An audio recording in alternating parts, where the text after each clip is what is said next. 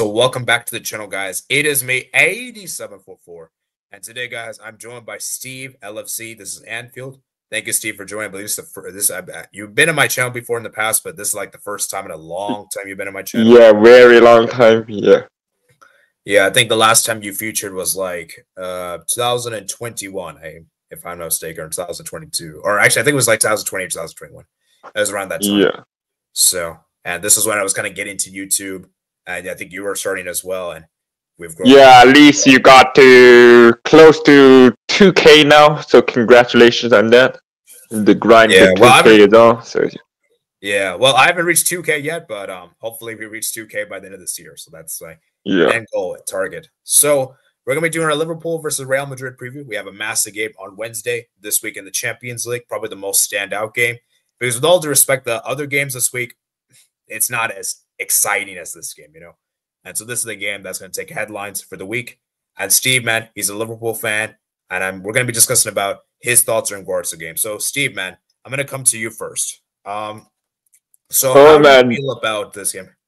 This game, I'm kind of nervous to be honest, even though Liverpool has been good. I think only lost one game this season, I think it was to Forest, if I'm not mistaken, and the rest has been wins. But we just came up from a, like, a, how to say, unconvincing win. Not the most convincing win against Southampton, but still get the eight points at the top of the Premier League table. But the Champions League is a whole different story.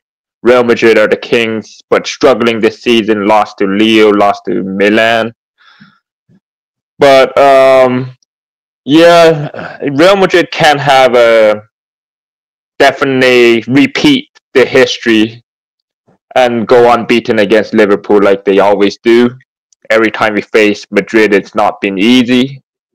We took the lead, I think, before in the last fixture, I think it was, and and then Real Madrid just Yeah, came was- back and Anfield. beat us. I think it was Yeah. at uh, Anfield as well. So definitely, Yeah. even if we take the lead, don't jump your gun. Real Madrid can easily come back, just like they always do. They're Real Madrid. They are the king of, of the Champions League. I think 15 titles. So definitely, 15 even titles. under the new league phase, I do not uh, fancy Liverpool as much as I would want my team to win. But realistically, I think Real Madrid are the definitely more decorated team regarding the Champions League, and they can definitely give Liverpool a tough game and take it to Liverpool and beat Liverpool at Anfield. Anfield Yeah, is I not 100% fortress, so yeah. Yeah, because you know, because you know the thing is, Salah in particular has said a lot of times the previous past, like, "Oh, I want revenge. I want revenge." It's never happened. Yeah, yeah, especially when Ramos like just destroyed his shoulder in that. I think that was 2018. Yeah, think it was. 2018. Yeah, so Yeah. So, but you know, but the thing is, this time though, it's different. It's a group stage match. Like essentially, the league phase is a group stage, essentially.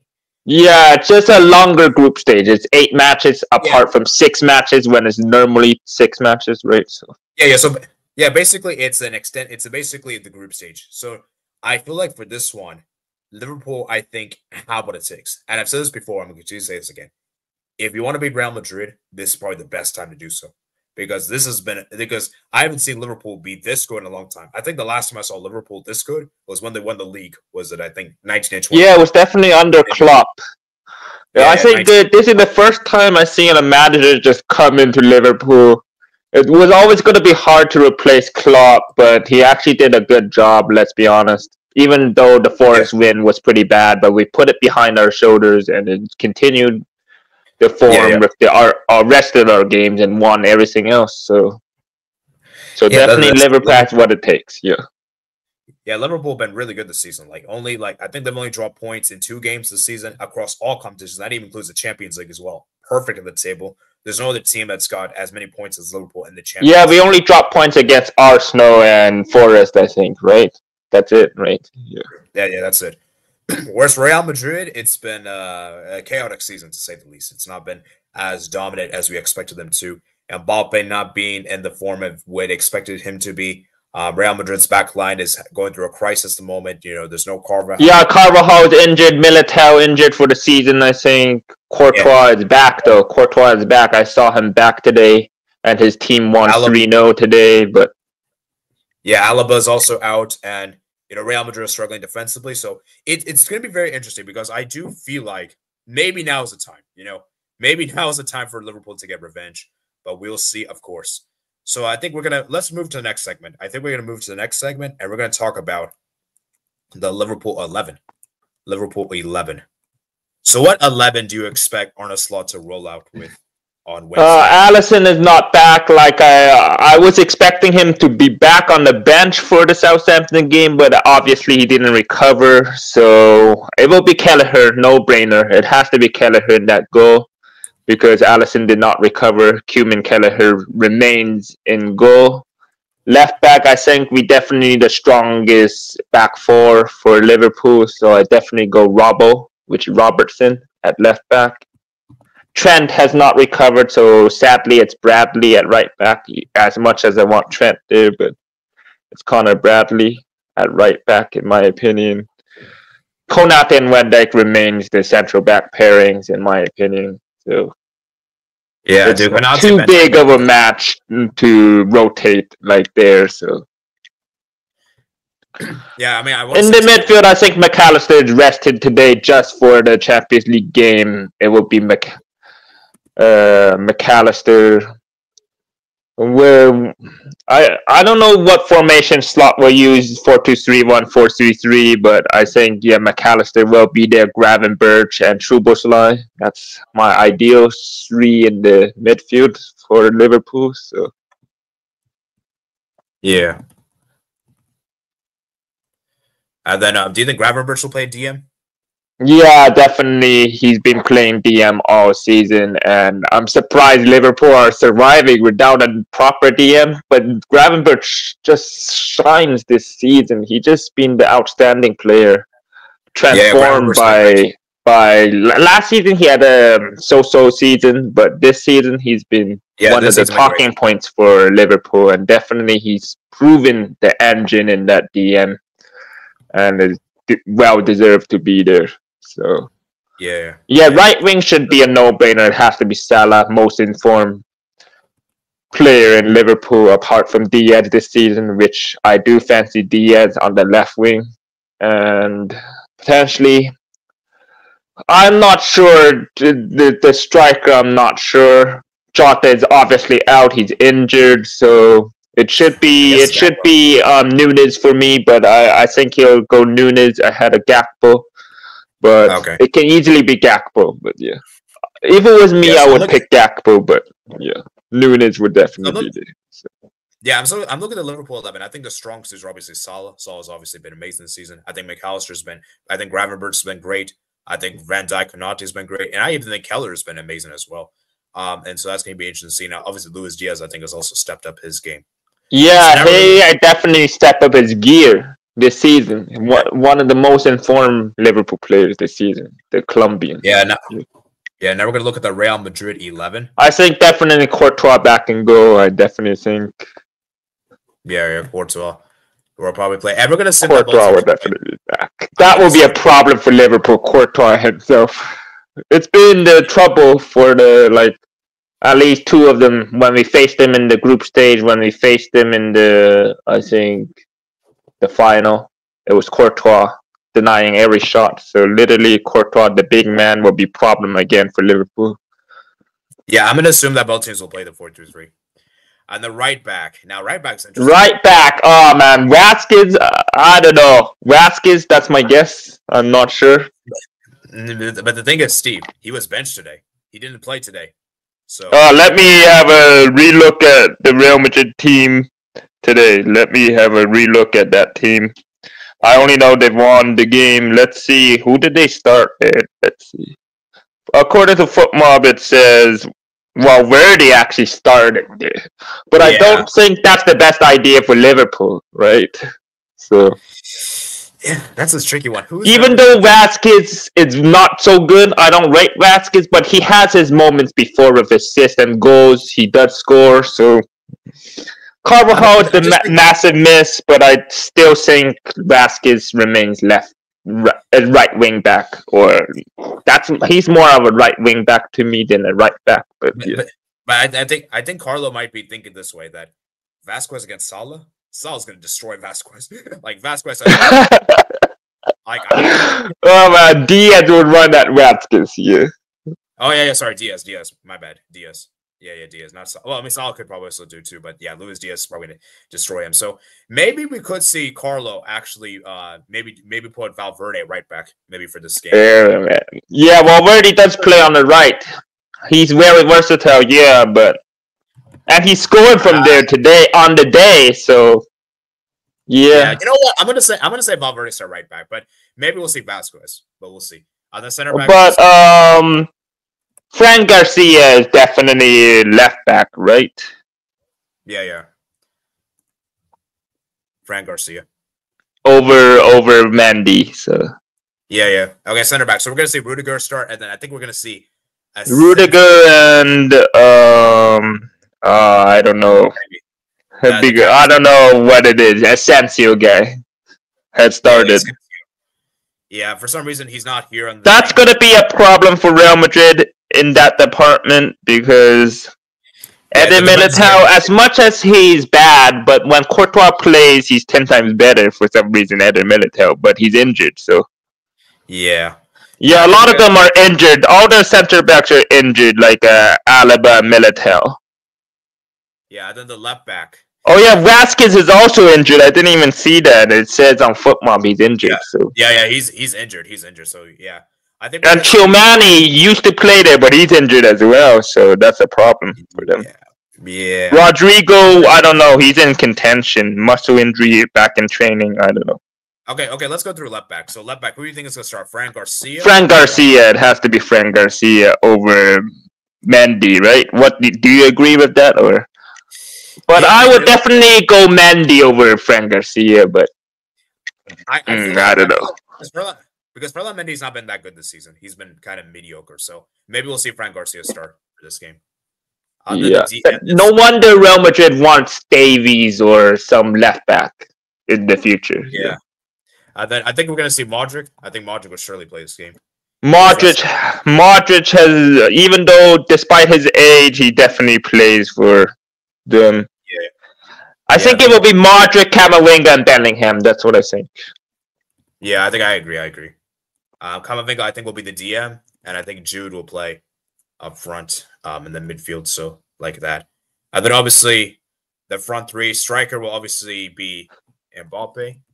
Mbappe, Vini Jr., and um, Arda. Güler. Arda Güler. Yeah. That's my guess because because Rodrygo's doubtful and injured. So Yeah. So looking at this Real Madrid team, who is the players that you are most scared of? Because for me, Vini Jr. He's been doing it every time he faces Liverpool. So he has a record against us. So are definitely you are you scared? Are you scared of Jude and uh, Mbappe? Jude, not as much. Mbappe to a more degree than Jude for sure. It's mainly Mbappe and Vini Jr. that might do the damage.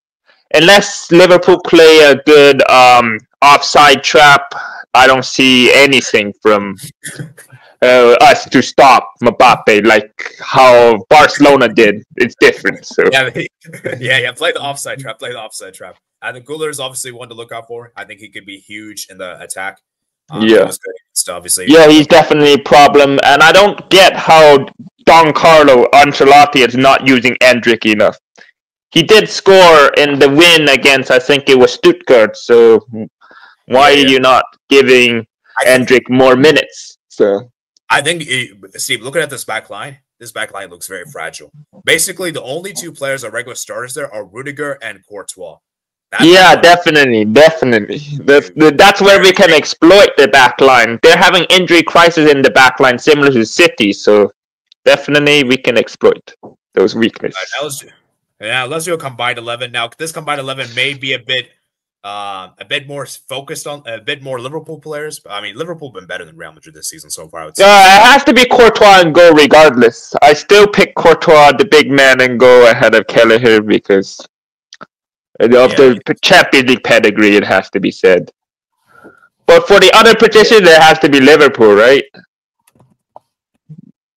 Yeah, Courtois for sure. And the right back, obviously, um, it's got to be um, it's got to be who's the guy? I forgot his name. Um, Bradley. Connor Bradley, right? Yeah, and we're only gonna do players that are like not in. We're actually, do you, wait, actually, Steve, do we do players that are injured, or we can? No, we shouldn't include that. That's kind of. That's kind of. I I usually don't include the injured players when I do the combined 11s. But Okay, okay. Yeah, the center that's for a different story. So left back has to be Robertson ahead of Fran Garcia, right? Yeah. Yeah, yeah, yeah. Uh, then I would say center, and then center backs. I think we got to put. Uh, for me, this is what I'm going for. I'm going Rudiger and Van Dijk. Yeah, that's the same for me. Yeah, basically, yeah. All right, Rudiger and Van Dijk. All right, oh man, DM this is where it gets tricky. The midfield, oh man, I don't really know. Um, I think I have to put Camavinga in there. I'm not sure. Do I put Camavinga in there? Yeah, and then Szoboszlai in there. Gravenberch, Szoboszlai, Camavinga. Mm, okay, that's a good one. Uh, the right wing is obviously got to be Salah, no doubt. Yeah. Uh, then striker, Mbappe or Darwin Nunez. Oh man, I can't put Darwin Nunez there. I have no guts to put him there. Oh. he had only two goals all season, I think. So Mbappe definitely takes the stand. yeah. All right, Mbappe. It is, man. Mbappe. It is. So it's a. It's it's it's not as lopsided as I thought it would be. So let's actually count. Yeah. So we got one, two, three, four, five, six. Okay, it's actually pretty close. So six five. So six five, slightly in favor of Liverpool over Real Madrid. All right, now let's look at um let's look at the insights coming into this game because I actually think there's some good insights here from Google in particular. Let's look at these insights, and then we're gonna look at the head to head and then give a prediction, I suppose. So um, it says right there, Liverpool won their first three games against Real Madrid European competition between 1981 and 2009. However, they're winless in eight meetings since then, suffering seven defeats. Wow. It's not looking Seven defeats. Yeah, we never beat Real Madrid. We only got the best result was a draw. That's all I remember. Real Madrid are the team that Liverpool have lost most often against in European competitions. Seven. Indeed, among sides they have faced five times in Europe, they're also opponent that have lost, lost the highest percentage of games against 64%, seven losses in 11 games. Ooh. Liverpool are the only team with a 100% record in the UEFA Champions League this season, winning all four games. The only previous time they won first five matches in a major European campaign was 2021 22, one first seven. Oh, yeah. I think that was the season where you guys reached the final. Um, Yeah, yeah. 17, 18, right? Yeah. No, it says 21 22 here. Oh, oh, yeah, yeah, yeah. Yeah, yeah. Real Madrid have lost two of their last three UEFA Champions League matches, as many as they had in their previous 28 games. Win 20, draw tw- six. They have never lost three games in a single group phase in a season before. I did not know that. Real Madrid. Yeah, Real Madrid usually don't lose that much. That's the thing. Half of, Liver- half of Liverpool's goals in the UEFA Champions League this season have been has been scored falling crosses, with their five such goals being the most of any side. Each of the last three goals from crosses in the competition have been assisted by Mohamed Salah, one versus Bologna and two versus Bayer Leverkusen. Okay, some very interesting, very interesting insights there. I like those insights. Do you like those insights, Steve? Yeah, yeah. Even though it's not in favor of Liverpool, but those are nice insights indeed. Yeah, the only English clubs I think to beat Real Madrid in history is Chelsea and uh, City. So Liverpool is not in that list. So it's concerning. Yes. All right, head to head, head to head. So this is the head to head record of all time, Steve. So Real Madrid got seven wins, one draw, and three wins for Liverpool. 17 goals Oh, scored. three wins for Liverpool. Where those wins come from? Before I was a Liverpool fan, that's most likely certain. So. Yeah, 17 goals. Um, and then 10 goals for Real Madrid. Um, sorry, Real Madrid got 17 goals and Liverpool got 10 goals. And you can see the top score, the Ronaldo 105, Mohamed Salah was 43, and then 15 tiles, six tiles, most recent last season, and the 2018, 2019. As you can see, highlights. Obviously, we're not going to play highlights for copyright reasons, but you can see on your own. 16, the last- 16 titles? Oh, 16 titles? Oh, man. No, no, no, it's 15. It's 15. 15? 15 titles? Okay. Yeah, yeah. Yeah. So you can see the Yeah, matches played. definitely. Last time it was around 16. I think you were just talking about this earlier. Real Madrid won Yeah. 62 and. And then the final there was 2021-22. Yeah, that's the game I'm talking about. We we uh, I think scored two, and then we bottled it. Yeah. Yeah, Similar to the Dortmund game, it's same thing, Real Madrid. So yeah, and then 17 18 right here, and then 14 and 15, and then uh 3 0. And then the last time Liverpool won was actually in 2009. They actually won both games against Real Madrid, round of 16. Uh, Excuse me. Wow. And then 1981. So it's been a long time, Steve. It's like this is going to be like Liverpool looking to win for the first time since 2009. It's been 2009. Yeah, that was before I even knew football. That's for sure. I knew football since 2014. So, yeah. Yeah. So now it comes the hardest part of the video. Your prediction. Oh man. Okay. I'm this is gonna be nightmares, man.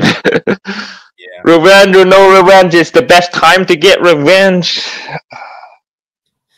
I really wanted to get revenge and say 2 1, but I do not favor that prediction at all. So I favor Real Madrid in this one. Oh. So you're going to say Real Madrid wins at Anfield? Yeah, Real Madrid wins at Anfield, I think only just. Okay, so are, are unfortunately, yeah. Two one win or one 0 win. What are you saying? Two one win, two one win, or or three two win. That's what I'm saying. okay, now Steve, um, something tells me that this might be like Barca Bayern. Remember how we all said that Bayern owned Barca for the last couple of years, and then Barca finally beat Bayern at their crib at home. And oh yeah, Barca Barca beat them how much again? Four one was it? Yeah, four one. Yeah, yeah. And then Liverpool at home against Real Madrid. Real Madrid have owned Liverpool for the last couple of years and maybe Liverpool can finally win. Maybe this is the time. We have to break the duck. We have to break the duck. This is the best chance to do it, but I'm still not confident. So. See, the thing is, it's Real Madrid. It's Real Madrid, and I have a feeling they're going to respond. I, I have a feeling after the Milan game, they're going to be more more energized for this game. They're going to they're going to be more hungry. They want to score yeah, more gonna, goals. Yeah. yeah, and I think Real Madrid know that they they need to get something from this game, and for Liverpool, they just don't. Eh, Liverpool it's going to be big. So it's a tough one to call. It's a tough one to call, Steve. But I'm going to say a 2 2 draw. I just think Real Madrid defensively are too, uh, they're just too weak, which is why I don't think they'll keep a clean sheet. And I just think Liverpool's offense is great.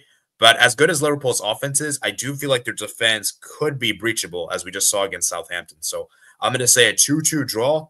But let me just say, I'm hoping Liverpool wins because, you know, I'm a Barca fan, but um, it would be nice to see. But for um, Real Madrid, as I said, they cannot afford to lose this game because if they lose this game, their chances of finishing the top eight is looking very bleak. Yeah, Liverpool, if we win this game, we still remain unbeaten in the Champions League. That never happened, I think, before, right? So. Yeah, so I'm to say a 2 2 draw is my prediction, and Steve is going for a 2 1 Real Madrid win. So let me know what you guys think of the comments below. I hope you guys did enjoy this collaboration. Remember, guys, to subscribe to Steve's channel. Um, I'll leave a link in the description below. And of course, subscribe to my channel as well. Like this video if you did enjoy. And let me know if you guys wanted to see any more of these kind of matchups. We collaborated with people ahead of the big Champions League. Maybe we'll do this like once a week when there's like a standout match. So I hope you guys. Yeah, what's the big Champions League games this week? This game yeah, and then and then that's it, right? Yeah, and then that's it, right? Because PSG is yeah. not that good, so yeah. Yeah, yeah, yeah, yeah. So, like, anyways, I hope you guys did enjoy. We'll obviously have our Champions League review on Wednesday. We'll have the live stream. We're going to go live after the game. We're going to talk about this game. Obviously, we'll talk about the other games as well. And this game will probably the main focus of the stream on Wednesday. So, we'll see what happens. I hope you guys did enjoy today's stream. Remember, guys, to like and subscribe, of course. And yeah, I'll see you guys later, man. Peace out.